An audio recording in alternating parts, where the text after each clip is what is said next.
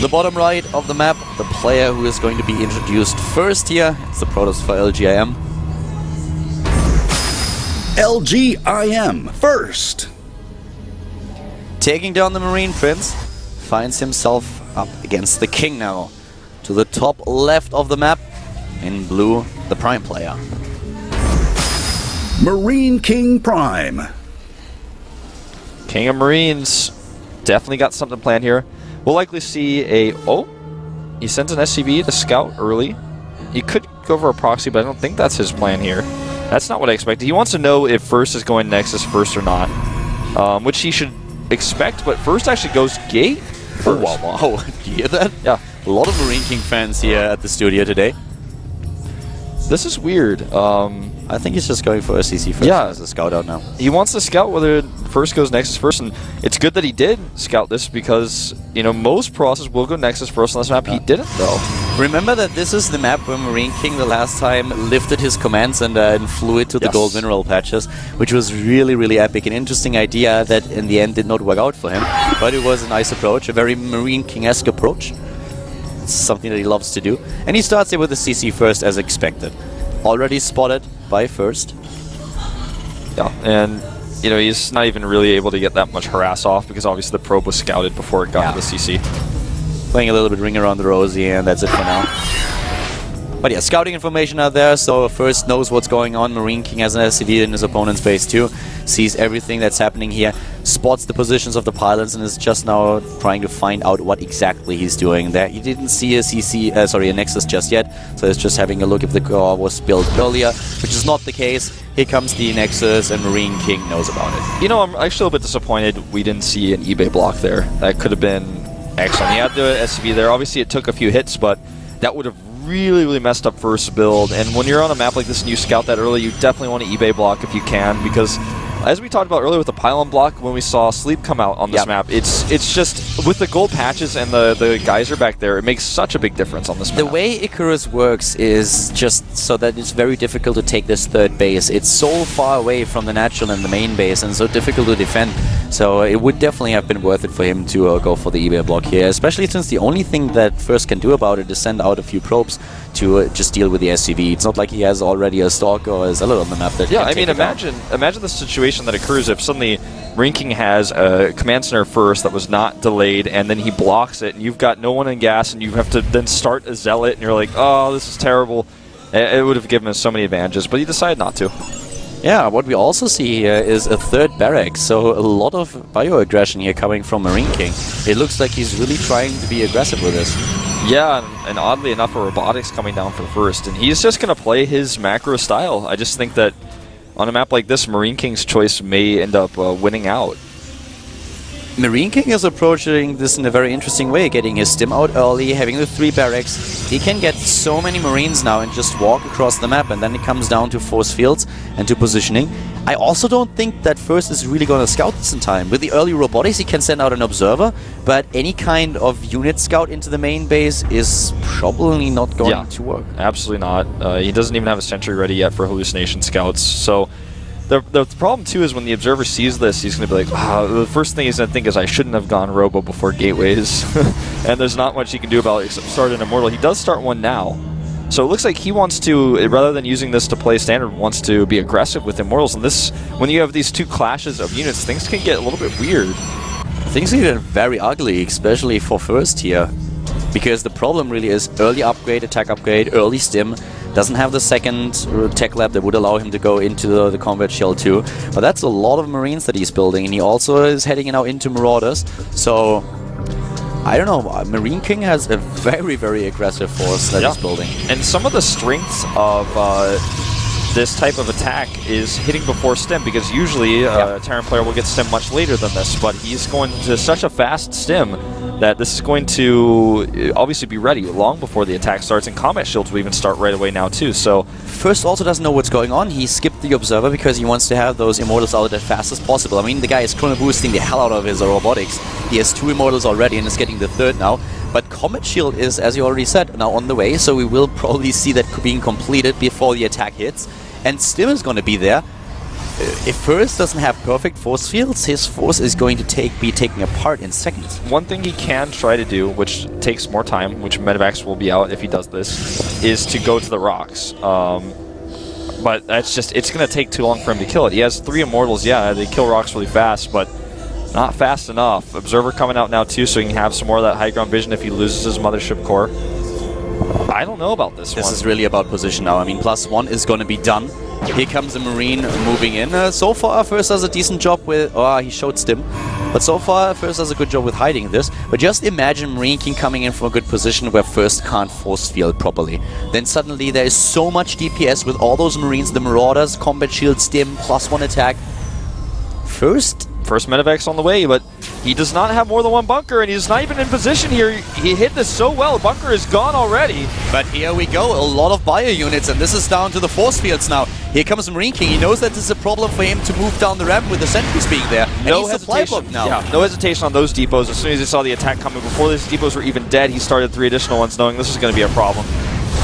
It's just so hard to attack into this. Yeah. Combat shields are done. His army is much stronger, Marine Kings that is, but the problems are the force fields. Yeah.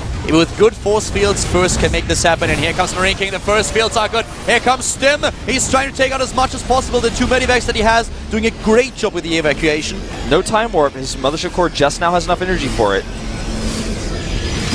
First looks a little bit desperate here. He does go into those rocks now. He's going to kill more depots, which will slow down the production. That's great. Then he can supply block Marine King once again. That's exactly what he wants to do. Good force field. He blocks the force ramp. Ah, not quite. Really well done, but here comes the force of Marine King, at least half of it, and the recall. I think that Marine King is in such a better position right now after this attack. Well, Marine King has not lost too much. He lost a few supply depots, that's all. Didn't lose a lot of his army. And he's the one who is already, or will be on 1-1 before first starts his first attack upgrade. Yeah. So the upgrade lead that Marine King has is a really good one. And for the Protoss player, it's going to take a while to get the range upgrade out and enough Colossi.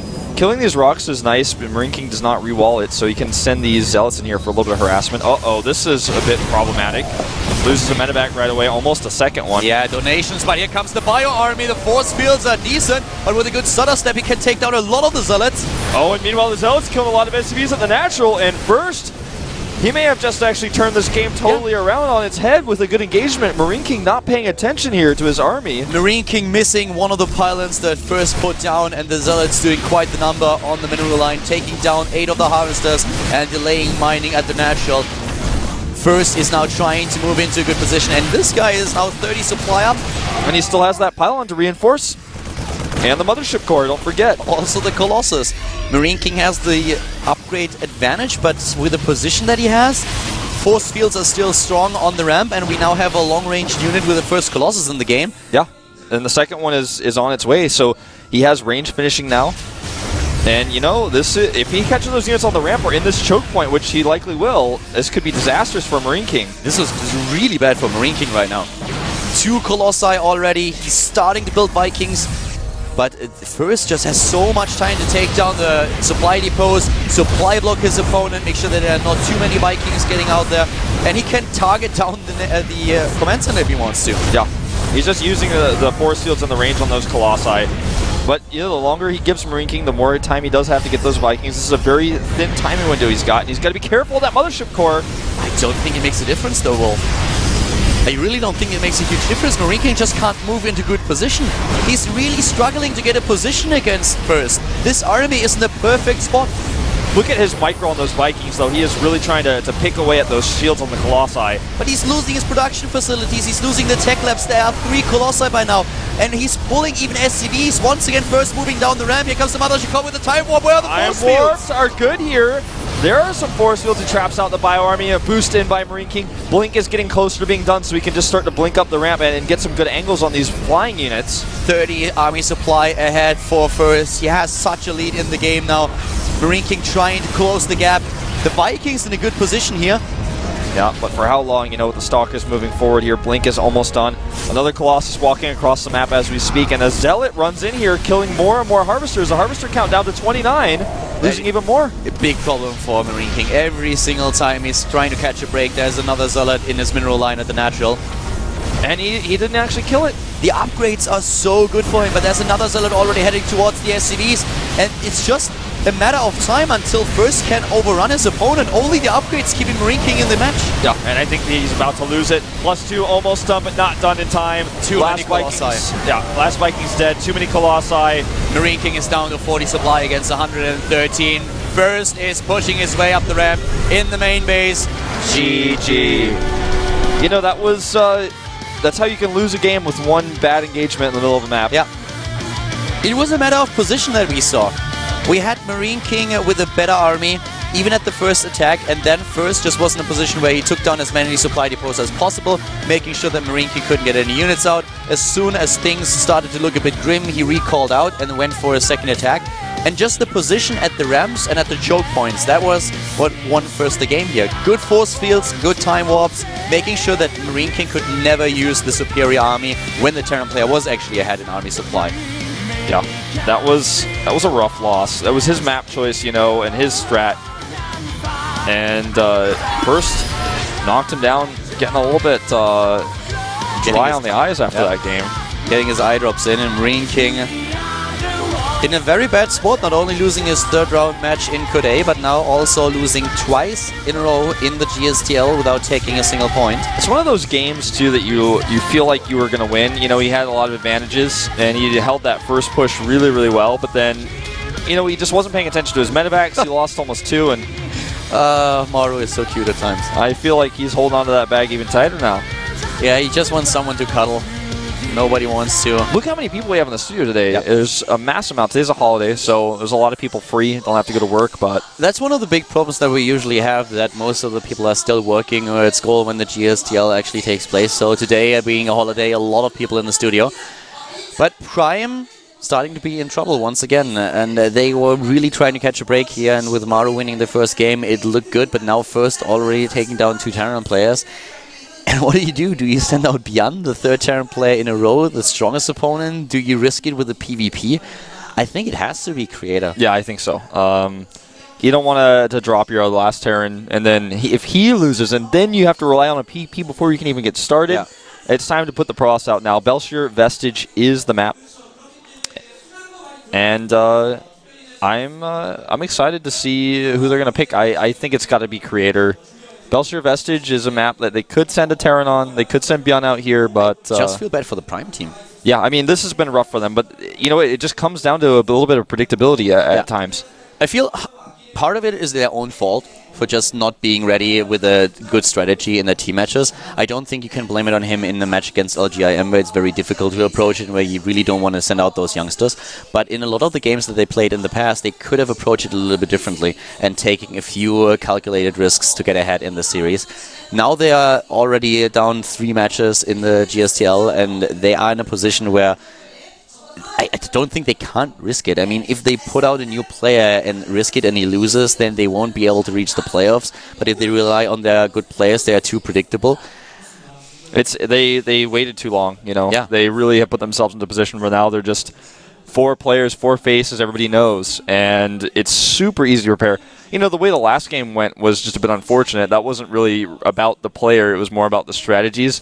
But going forward here, the IM coach is uh, sitting there going, "All right, is it going to be creator? Is it going to be ByuN? Which one comes out first? And then, and he's like, already going, "We have already figured it out." Especially Marine King seems to be a bit in a slump these Yeah, days. definitely. It's a big problem for them. He was one of the main forces that was driving the team in the past. Now it seems to be more shifting towards ByuN. But Marine King uh, being in such a bad shape and not taking wins, that is really something that does a number on them. ByuN It's the third Terran player in a row. and uh, first is like, "Well, I'll smash another one." Now I'm not quite sure why he was hiding his face here. He did a great job so far. But yeah, it's ByuN. Third Terran in a row. And Gerard looking a little bit lost here. Yeah, But as I said, I feel the time for experiments is over. That's something that they could have done in the first four matches when they were facing, I would say, weaker teams, which is really weird to put it that way. right. And I think that if they lose today against LGIM, then it's time to give those youngsters some uh, exposure because the problem is let's be quite frank here. If they lose today, I don't see them going into the playoffs. Absolutely. They would have to win all their matches, and with the same four players, I just don't see that happening against the teams that are left to, for them to face. So I think the only thing that they can really do in this season is thinking about the season as being over. They won't reach the players if they lose here, and then send out their younger players to give them the exposure that they need. Yeah, you're right. But the match is not over yet. Maybe ByuN can turn things around because we mentioned this. ByuN is right now the strongest player on the roster. Yeah, he is basically their ace. They don't want to do a Protoss versus Protoss, so they dodge that for now. Uh, but before we go into Bel'Shir Vestige, we have a five minute break. So see you guys after the break.